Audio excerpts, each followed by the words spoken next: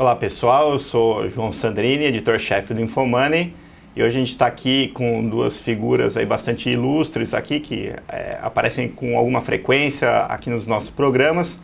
É, primeiro o Celso Plácido, que é estrategista-chefe da XP Investimentos e também a Zena Latifi, que é economista-chefe da, da XP. É, vamos começar falando aí um pouco sobre os primeiros dias do, do governo Temer. É, vocês acham que agora, a partir de agora, a crise política ela passa a arrefecer ou ainda tem um ambiente político muito tumultuado e não dá para cravar isso? Acho que ainda tem alguma coisa ou outra para administrar, porque afinal não teve ainda votação no Senado, né? Para a palavra final sobre o impeachment. Mas é claro que a gente já está falando de um ambiente que a política distensiona e a agenda ela vai se movendo para a economia, que é o que o país precisa, voltar à normalidade. A agenda econômica ser o foco de preocupação. Algum ruído da política? Claro, mas já num, num grau muito inferior. E nas ruas vocês não esperam nada, porque teve algumas manifestações, teve panelaço ontem, é, enquanto o Temer falava no Fantástico não deve ter nada demais nas ruas, na opinião de vocês? Olha, é, esse é o motivo também que eu acho que vão tentar apressar o máximo possível a votação no Senado. Claro que cumprindo todo, todos os prazos, essas, essas coisas não podem ser atropeladas, né? Tem que passar uma, uma visão de, de normalidade também para a sociedade, para que haja legitimidade do Michel Temer confirmando a, a, a, o, o impeachment da presidente Dilma. Agora, um ponto é que eu acho que a gente vai ter que se acostumar com alguma, com alguma um, algum ruído aqui e ali, não tem muito jeito. Tem uma agenda econômica que não é fácil. Na hora que o governo começa a discutir reforma da Previdência, a gente já viu aqui centrais sindicais vão reclamar, isso vai acontecer. A gente está falando de um país que tá, não está crescendo, está né? Tá num quadro recessivo, inflação alta, um desconforto, serviços públicos colapsando, né? jovens invadindo escolas. Então, tem um clima difícil no país e de tempos em tempos vão acontecer episódios como esse. Por isso, o senso de urgência, né? de tentar rapidamente dizer, é um governo dizer a que veio, começar a implementar a sua agenda para pacificar o país. Tá. É, agora, é, eles têm dito, né, no discurso pelo menos, tanto o Meirelles quanto o Temer, eles têm falado bastante que a prioridade agora é o ajuste das contas públicas para recuperar a confiança. Mas eles não têm dito o que, que eles vão fazer, né? Na sua opinião, o que, que é o mais é. fácil? Qual é o ajuste mais fácil de Veja, ser implementado? Algumas coisas já estão sendo colocadas, que eu falei já da reforma da Previdência. Agora, um ponto que é o seguinte, a gente, se, se for julgar, assim, pelo estilo dos partidos e tal, a, a, o, meu, o meu entendimento é que o PMDB é um partido da política e, portanto, só vai anunciar coisas mais, é, mais, com mais detalhe na hora que tiver também uma negociação mais avançada. Porque o que a gente ouvia do, do, da forma da, da, da Dilma operar ali a política, ela mandava para o Congresso, mas sem antes ter tido uma, uma conversa, um diálogo maior. E isso acabava sendo contraproducente dentro do Congresso. Vamos pegar, por exemplo, ano passado, o Joaquim Levy mandava as medidas e gerava uma tremenda irritação, porque como que vocês mandam sem conversar com a gente? Daí ele tinha que sair correndo lá para negociar. Eu acho que a gente vai ter uma volta ao modelo passado. Quer dizer, na hora que for alguma matéria para o Congresso, é porque minimamente, claro, sempre vai ter restrição, mas é porque minimamente já foi aquilo conversado. Então a gente vai ter que ter um pouco paciência, quer dizer, os processos democráticos eles são mais lentos. Você tem que conversar e negociar e discutir, explicar para a sociedade, explicar para a classe política. A gente vai ter que se acostumar com isso. Só que ainda que mais lento, dá, tem mais chance de, de, entre, de entrega. Né? Aumenta a chance de entrega conforme você aumenta o seu diálogo com a classe política e com a sociedade. Então, alguma coisa já se falou, falou em tem idade mínima, falou em preservar direitos adquiridos, mas sem dúvida a gente vai ter que ter mais detalhes sobre tudo isso. Agora, é, não poderia ser um erro também esperar demais para enviar essas medidas, posto que tem eleição municipal, que vai atrapalhar todo o calendário ali de votações no Congresso no segundo semestre. E aí depois o governo já começa a deixar o tempo passar muito sem resolver nada, já começa a ficar aquela, alimentar é. aquela sensação que a esquerda está é. tentando deixar. É, aquela sensação de que nada mudou. É. Né? Não, esse é o ponto essencial, por isso que é difícil o jogo político, porque você não pode fazer de forma sodada, que parece que você está atropelando, Mas você também não pode demorar muito, afinal, a gente está falando de uma crise grave, de um país que precisa interromper essa sangria e, portanto, não tem tanto tempo assim. Esse é o tremendo desafio, é o desafio da política. É, Vamos ver, em princípio a gente, o PMDB tem reputação de ter bons operadores políticos, né? E montou, está montando um time econômico, a gente vai ter os detalhes só amanhã, mas um time econômico de técnicos que conhecem profundamente a, a, o problema fiscal, que hoje é o nosso principal nó. Com, com dúvidas sobre o fiscal, a gente não vai a lugar nenhum, quer dizer, precisamos realmente pagar as contas, não é? Não? É, e, e, um time que são de pessoas que têm ali elementos que são formuladores de política, que não basta reconhecer o problema, tem que saber propor soluções. E a gente vê nos nomes que saíram alguns nomes que têm esse perfil, né? Então, enfim, vamos, vamos monitorando, mas eu acho que o que é importante a gente colocar é que pelo menos agora a gente tem uma agenda econômica, tem um caminho. A gente estava muito sem definição de agenda econômica, muito é, no improviso. Agora é uma coisa mais clara, é uma agenda de governo, não é uma agenda de ministro da Fazenda apenas, parece uma agenda de governo, só olhar o que foi o discurso do Michel Temer na posse. Tá. É, me parece até agora que a primeira medida vai ser realmente a, a, reforma da Previdência. Hoje já tem reunião Meirelles com Tombini, com as centrais sindicais para discutir o tema. É, parece que é o que está mais maduro na ideia do governo. Até nas entrevistas eles têm falado mais abertamente, defendido a idade mínima abertamente. É um governo que não foi eleito pelo voto, tem condição, tem apoio para conseguir aprovar uma reforma como essa, que é tão impopular, você colocar uma idade mínima para as pessoas poderem se aposentar só aos 65 anos de idade, por é. exemplo? Olha, acho que tem duas observações aqui. Uma é a grave crise, e quando a gente olha os pontos de maior risco fiscal, não há dúvida que previdência é, é, é uma emergência. Né? O Brasil está envelhecendo rapidamente e o que a gente gasta já é de país velho. Né? A gente gasta o que o Japão gasta na Previdência, que é 11% do PIB. E a gente ainda é jovem, mas está envelhecendo rapidamente. Né? Em 15 anos a gente vai praticamente dobrar a taxa de a razão entre pessoas idosas e pessoas em idade ativa. Isso daqui é um estrago tremendo. Então, é muito importante que a sociedade entenda a emergência disso, porque senão lá na frente não vai ter dinheiro para pagar a previdência. A outra coisa é a preocupação em fazer uma transição. Né? Então, tentar, obviamente, você não vai mudar a regra para quem está para se aposentar. Né? Então, vai ter que ter uma transição aqui. Não pode ser muito lenta, é óbvio que não, porque senão no meio do caminho a gente já fica insolvente, mas dá para pensar numa transição que dê essa tranquilidade que a sociedade precisa. O que é importante colocar é o seguinte: uma coisa é você fazer ajuste fiscal, cortando investimento, que aí realmente, ou fazendo aumento de carga tributária, que aí tem um custo social óbvio, né? um custo na economia óbvio no curto prazo e que nem sempre traz o benefício de longo prazo como a gente espera. É só olhar o que aconteceu o ano passado, que foi um ajuste pela metade, sem mexer, é, mexeu muito pouco em questões estruturais. O que, que aconteceu o ano passado? A gente ficou com o ônus do ajuste, mas não tivemos o bônus, perdemos o grau de investimento. Uhum. Uma reforma da Previdência não é o mesmo nível de sacrifício de um aumento de carga tributária. Isso que é importante se colocar. É uma medida que você faz, que vai ter uma, uma melhora na frente, lá na frente nas contas públicas, mas no curto prazo já gera uma, uma maior tranquilidade para poupadores, para investidores. Vamos lembrar que a gente estava discutindo, a gente não aqui na XP, mas algumas casas, discutindo o risco de calote da dívida.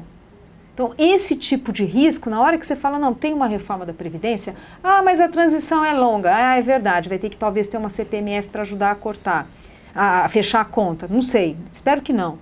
Mas, mas o fato é que você começa já a definir uma agenda e que vai lá na frente estabilizar a dívida pública e a gente não vai ter que fazer calote. É, é esse é o ponto. Quer dizer, o benefício é de longo prazo, mas é também de curto prazo ao gerar confiança dos agentes econômicos, ao afastar o medo de um calote. Então, assim, acho que é importante a sociedade entender que a, a gente, primeiro, que não tem muita opção.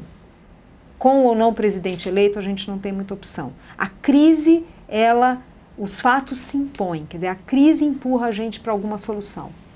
Tá, e a parte do, do PSDB, Zina, você acha que é, tem muita gente que acha que eles apoiam o governo até um certo limite, que eles também não querem que seja um governo brilhante, porque não é do interesse deles, eles querem ganhar a eleição em, em 2018. É, até que ponto o PSDB compra esse projeto aí de, de, governo Temer e dá respaldo a esse projeto político? Me parece que é um partido muito importante para que consigam passar medidas aí como a reforma da Previdência, uhum. que exigem três quintos dos votos aí. Olha, é difícil para mim julgar a estratégia do PSDB, mas eu acho que dá para dizer o seguinte, a gente precisa voltar à normalidade no país, que é o país voltar a crescer. O mundo cresce 3, 3,5, a gente contrai 3,5, 4 com uma inflação de dois dígitos. Quer dizer, a gente precisa voltar à normalidade. Hoje, para voltar à normalidade, só com reforma estrutural. Não adianta querer fazer boca de caixa, é, remendo aqui, ali, atalho. Não funciona. Já não funcionou ano passado, agora muito menos. O buraco é enorme, a gente nem tem consciência ainda do tamanho do buraco.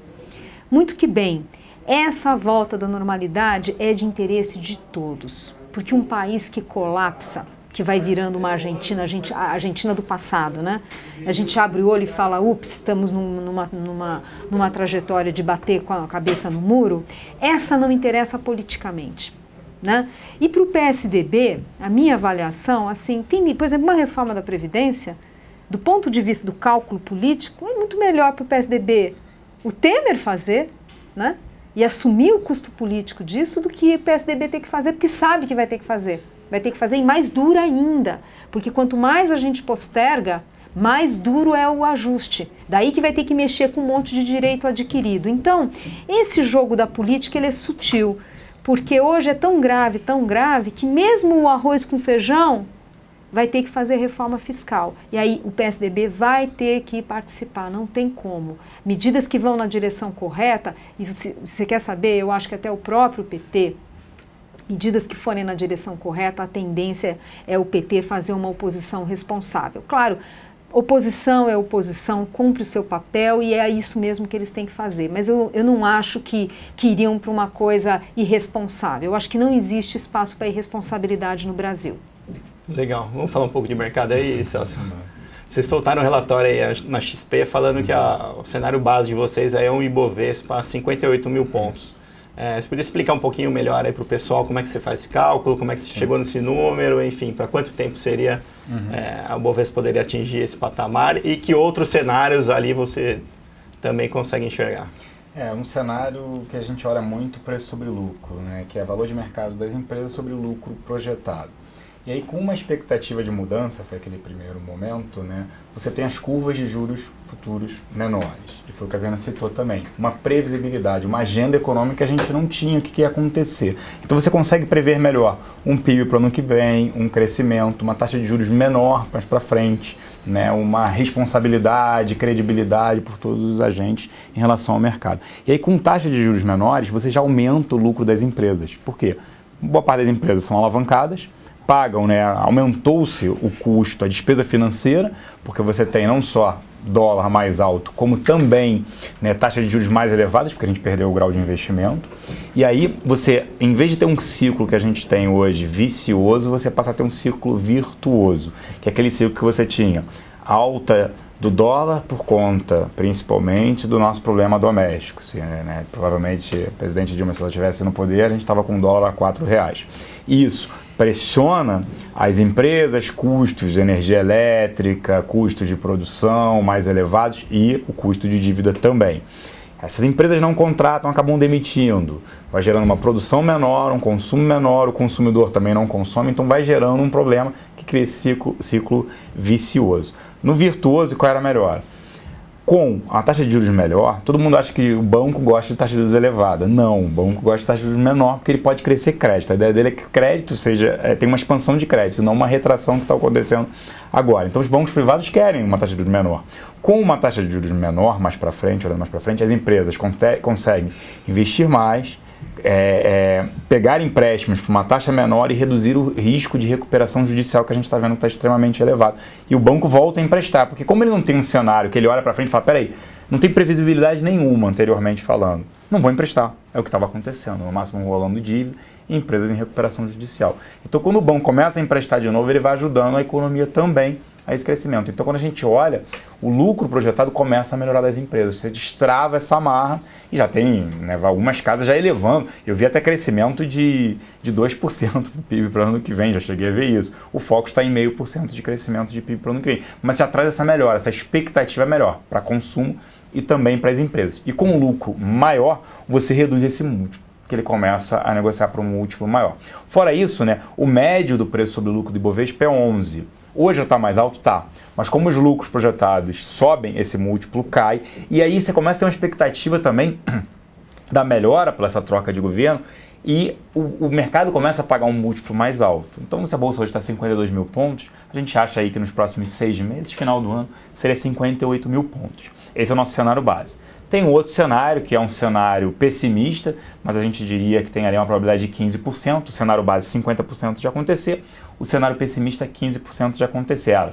Ele não aprova reforma nenhuma, não consegue governar, movimentos sociais, manifestações, tudo isso começa a acontecer, ele não consegue governar, então o problema não se passa reforma nenhuma, a bolsa seria para 40, 45 mil pontos, ela retornaria, lembrando que esse ano chegou a bater 37 mil pontos. E um outro cenário que é de 35% de probabilidade de acontecer, digamos que boa parte das reformas são aprovadas. Que, que você tinha anteriormente? Qual é a dificuldade de se prever hoje o Ibovespa? Antes a gente tinha feito um binário. É, ou tem impeachment ou não tem. Não tinha outra saída. É, ou tem ou não tem. Ele aconteceu, agora não. Agora você tem várias né, é, é, é caminhos ali para seguir. Qual reforma que vai ser aprovada, qual não vai, agilidade no processo, qual o impacto disso, porque a Zena estava falando, tá, vai mudar a reforma Previdência. Aí eu já ouvi que eles não querem mexer só quem está entrando no mercado de trabalho, pô. Quem está entrando no mercado de trabalho agora, você está falando que é eficiente daqui a 40 anos, pô, não dá 20 anos. Se aposenta um homem com 65, você está falando 45 anos para fazer efeito. Não faz sentido algum, tem que mudar isso. Então, tem que ver como é que ele vai vir com as reformas e o que vai ser aprovado. Que aí sim, a Bolsa, 35% de probabilidade para a gente, poderia atingir, superar até os 70 mil pontos. Mas aí seria no cenário que ele consiga aprovar a maioria das reformas. Agora, no cenário base ali, de 52 mil para 58 mil pontos, não tem muito upside, seria uns 11%, uhum. ali, mais ou menos, né? Isso. Até o final do ano. Não chega a ser ali um grande prêmio sobre uhum. a renda fixa, na sua opinião. Uhum. Quem não entrou, quem perdeu o rally do impeachment até agora, ainda é o momento para entrar, espera mais, faz o quê? Excelente pergunta. Quando a gente olha, eu estou olhando o Ibovespa. Eu estou olhando o índice, né, que é composto por diversas ações que tentam retratar um pouco a economia brasileira, até da melhor. Hoje tá, melhorou, né? dois anos para trás é, ele acabou melhorando. É, mas tem algumas ações que são interessantes. O índice em si é mais para a gente ter um balizamento de quando a gente acha que ele alcança. Mas setor financeiro, foi o que eu falei, destrava a economia, você tem uma melhora no setor financeiro, principalmente para os bancos privados. Pô, a declaração do Meirelles de que ele, os bancos públicos são entidades financeiras, não podem ser utilizados para política e nomes técnicos que ele vai dar o crivo desses nomes técnicos porque ele conhece. Pô, ele foi presidente do Bank Boston. Então, isso demonstra o seguinte: banco público agora vai concorrer de pé de igualdade, não vai ficar brigando por taxa e por cliente com banco privado. Isso já melhora a expectativa para bancos privados absurdamente. Isso traz um alento para o mercado. Então, o setor financeiro tem alguns setores que a gente gosta. setor financeiro é um. Algumas empresas alavancadas, mesmo em varejo, a gente gosta de lojas americanas, gosta de loja Gene, gosta de Eco Rodovias, que é outra também, um ativo que é alavancado com taxa de juros futuras menores é interessante também. Então, assim, eu não gosto de dar só Ibovespa. A gente fez uma proxy para quando a gente atinge mais ou menos o Ibovespa. Mas tem alguns ativos que tendem a apresentar um desempenho muito melhor e ajudar esse índice para bater 58 mil pontos. Caso principalmente dos bancos, setor financeiro, BVMF, Bradesco e Itaú. Tá. É, falando um pouquinho de dólar agora, até que ponto o Banco Central deve segurar a, a, queda do dólar, Zena? Olha, o, o, a impressão que eu tenho, a leitura que eu faço é que o Banco Central quer esse câmbio mais estável possível. Né? Aproveitou essa, essa correção da moeda, que não é só por causa de questões internas, mas é muito também em função de fatores externos. A gente está vendo essa correção de moedas de emergentes, né? É, mas o fato é que o, o Banco Central quis aproveitar para limpar um pouco o estoque, o estoque de swaps, o que é algo saudável. E aí mata dois coelhos com uma cajadada. Quer dizer, você melhora os fundamentos ao reduzir o estoque de swap e, ao mesmo tempo, evita maior volatilidade da taxa de câmbio. Então, acho que o que o Banco Central quer evitar é uma apreciação mais forte agora, que lá na frente poderá se traduzir numa depreciação e aí atrapalhar os planos, né?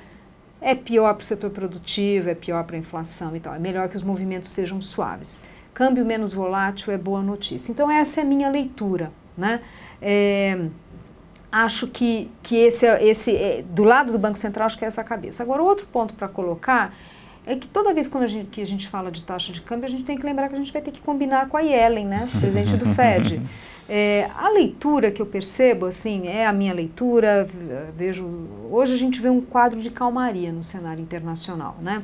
A China vinha desacelerando num ritmo que até né, forte, esse processo parece que acalmou, né? Commodities parece que bateram o fundo do poço, tem, tem uma certa calmaria. O Fed sem pressa para subir, se sobe é pouco, é uma recuperação que dá seus sinais bons, mas nem tanto. Enfim, esse quadro de calmaria está sendo bom né, para o Brasil. Imagina a gente passando por esse processo político com o mundo pegando fogo. Uhum. Né? Ia ser muito mais difícil. Então, esse elemento está sendo importante. Dá para a gente apostar numa, numa calmaria por quantos meses? Difícil, difícil dizer. Porque a gente tem um. A gente, para começar, a China é um país difícil para analisar. Não tem a, a transparência suficiente para a gente entender. Por exemplo, uma discussão que teve no Fundo Monetário, no encontro que teve de abril, é que, olha, a China parece que acomoda, mas muitos analistas preocupados do quanto essa acomodação não tem elementos artificiais que lá na frente vão cobrar o seu preço. Né? Então a China sempre vai ser uma preocupação. E aí, obviamente, com toda a repercussão nos emergentes, né, no mundo, afeta assim China, teve, é, a China afeta assim Estados Unidos, teve trabalho recente do Fed mostrando esse, essa maior influência da, da economia chinesa no mundo, conclusão que nós aqui na XP também né, chegamos olhando lá os nossos modelos. Então pode ser que essa calmaria não dure tanto, mas hoje esse cenário ele é propício para essa taxa de dólar mais estável, né? E talvez por um período longo. Tá, falando agora por último aí de juros, Celso. É, a gente viu né, o movimento do câmbio, chegou a 13,40, deu uma voltada. Né? A bolsa chegou a 55 mil pontos, agora deu uma voltada aí para 52 mil pontos. Agora o juro não, o juro tá, você pegar os últimos 12 meses, aí tá no, no, no menor patamar ali, o juro real voltou ali de 7,5 uhum. para cerca de 5,8 uhum. agora, o pré voltou de 16 para 12, e é onde eu vejo que os gestores estão mais convictos de que continua caindo pela desaceleração da economia brasileira, que foi muito forte, pela queda da inflação que já vem dando sinais aí de arrefecimento. Ah, na sua opinião, é, o rally que continua o mais provável é os juros mesmo? É, essa é uma, uma, boa pergunta. O que eu converso com os gestores, eles falam que os juros estariam mais precificados, que seriam mais fácil de precificar. Porque isso que você, você já citou tudo, você já respondeu até com a pergunta, que era, é, num cenário de olhar, poxa, quem vai vir para Banco Central com as medidas de ajuste, tudo isso que ele vai fazer. Então eu diria, quando eu falo com gestores, eles falam isso, principalmente multimercados. Os juros é o ativo ali que está mais bem precificado e mais fácil, entre aspas, de se prever. Já dólar, você depende lá de fora, depende daqui, interferência, Banco Central ou não. E bolsa, não só pelo mercado externo, com China e Estados Unidos sem saber quando vai levar é, é, juros por lá, se ele eleva esse ano, é no, no, meio do ano, é mais para frente, vai ter essa indefinição. Com China desacelerando, até quando desacelera? Nós somos ainda um país é, é, com a bolsa né, com um percentual grande ainda em commodities. Você tem a Vale, por exemplo, parte de petróleo, Petrobras, todo o setor siderúrgico. Então eu diria que o, o, o juros estaria mais bem precificado em relação ao rally e bolsa e dólar ainda não, porque tem outras variáveis que influenciam. Então, os juros eu diria que está boa parte especificado, mas a tendência ainda é de queda. Legal, então eu agradeço você, Celso, uhum. agradeço Zena. É, pessoal, espero que vocês tenham gostado e a gente se vê numa próxima entrevista aí aqui no Infomani. Muito obrigado, hein?